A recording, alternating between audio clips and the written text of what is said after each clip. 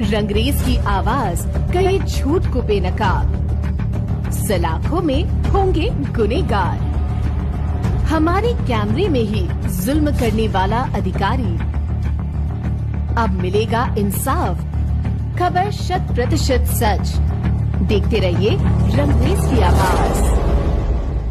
छत्रपती संभाजी शिवाजी महाराज व भारत रत्न बाबा साहेब अंबेडकर रुगुण सेवा, कार सेवा एसोसिएशन की ओर से कावड़ यात्रा पालकी, भक्तों की सेवा के रुगुण मुफ़्त सेवा का आयोजन संस्थापक अध्यक्ष सुरेश भीमराव खंडारे ने रखा गया था, जिसमें ज़रूरतमंद को डॉक्टर टीम मेडिसिन शिविर के माध्यम से किया गया। समय कावड़ यात्रा में अचानक तबीयत बिगड़ने पर मरीज़ के लिए एंबुलेंस की सुविधा भी रखी गई थी। एक आदमी की तबीयत बिगड़ी उसे सुरेश भाऊ खंडारे और सम्राट भाऊ सुरवाड़े, इन दोनों की सहायता से उसे जिला अस्पताल भेजा दिया गया। इस दौरान संस्थापक अध्यक्ष सुरेश भीमराव खंडारे, भीम योद्धा फाउंडेशन के संस्थापक अध्यक्ष सम्राट भाऊ सुरवाड़े द्वारा राज राजेश्वर नगरी में आने वाले कावड़ यात्रा पालकी के पदाधिकारी और कार्यकर्ता का स्वागत किया गया।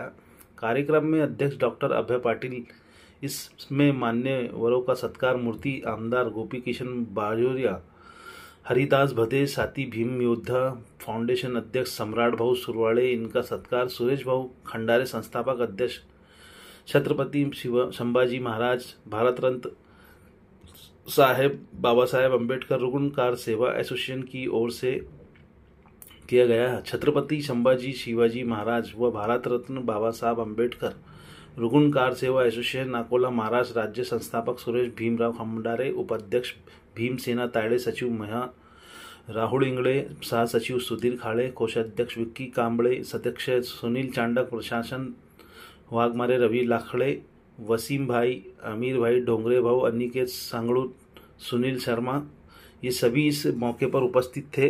और यहाँ पर जो है कावड़ यात्रियों का स्वागत भी किया गया। कई तरह से सुनील सुरेश खंडारे की ओर से जो है आरती और जो है पूजा भी की गई।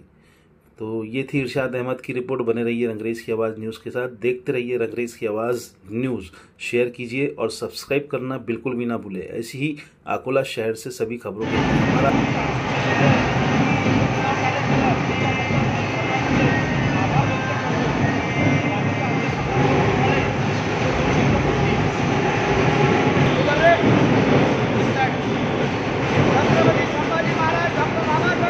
Amen.